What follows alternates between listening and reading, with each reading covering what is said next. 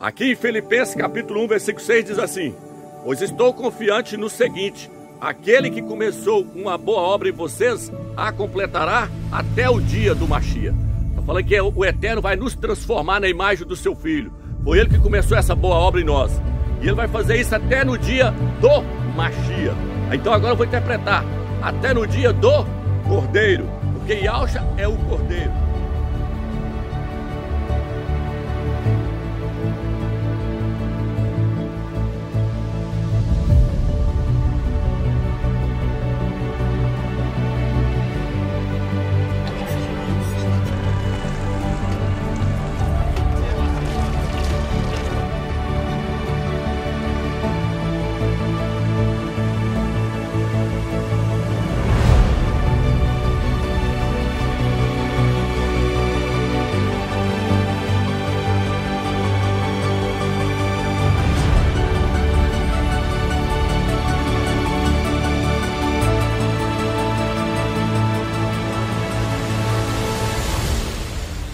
Yalcha é o cordeiro. E qual que é o dia do cordeiro? O dia do cordeiro é o dia 15 de Abib, porque foi nesse dia que ele foi sacrificado. E ele foi sacrificado desde a fundação do mundo, no dia 15 de Abib. Foi nesse dia que Yalcha morreu. Então, aqui está dizendo que o Eterno vai levar a sua boa obra, vai completar ela até no dia do Machia, até no dia do Cordeiro.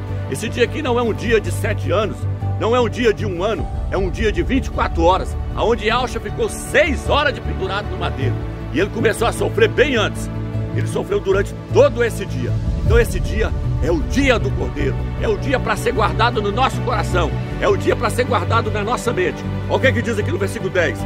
Que vocês se certifiquem de quais são as coisas mais importantes para que sejam sem defeito e não façam outros tropeçar até o dia do Machia.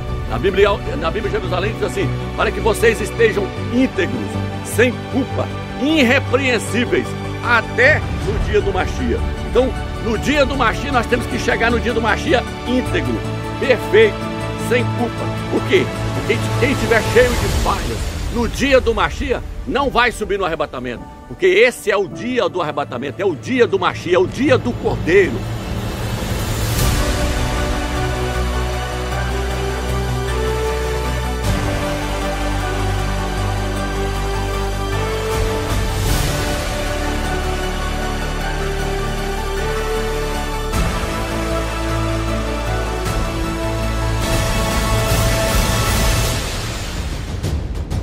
Dia do Cordeiro é o dia 15 de Abib. Por isso que no livro de Apocalipse, capítulo 12, versículo 11, diz assim: Eles o venceram, graças ao sangue do Cordeiro.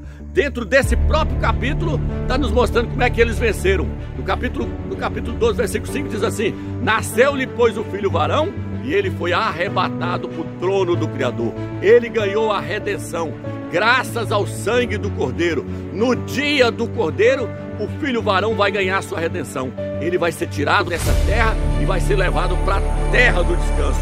Por isso que no livro de Apocalipse, capítulo 14, fala do dia da redenção. Diz assim: viu 144 mil no Monte Sião com o Cordeiro. Com o Cordeiro. Lá não usa a palavra leão, não podia usar a palavra leão. Mas por que, que o Eterno usou essa palavra Cordeiro no capítulo 12 e no capítulo 14? Para mostrar que esse é o dia do Cordeiro, esse é o dia da redenção. Esse é o dia que os 144 mil vai para o Monte Sião. Esse é o dia que o filho varão, graças ao sangue do Cordeiro, vai para o trono do Criador, vai ser arrebatado. Então, meus irmãos, vamos ficar em oração, vamos ficar em jejum, porque esse é o dia do arrebatamento. Ninguém tira isso de nós. A igreja católica pode falar e agora os crentes de Laodiceia podem dizer e ninguém sabe o dia nem a hora. Não sabia até Ial dos exércitos revelar. Esse é o dia. Quem marcou não foi Romilson. Foi Ial dos exércitos que marcou esse dia para acontecer o arrebatamento. Porque foi nesse dia que o filho dele deu brado lá no madeiro, dia 15 de Nissan, dia 15 de Abib. Foi o dia da nossa redenção. E, é o, e será o dia da redenção do nosso corpo. Que a graça e a paz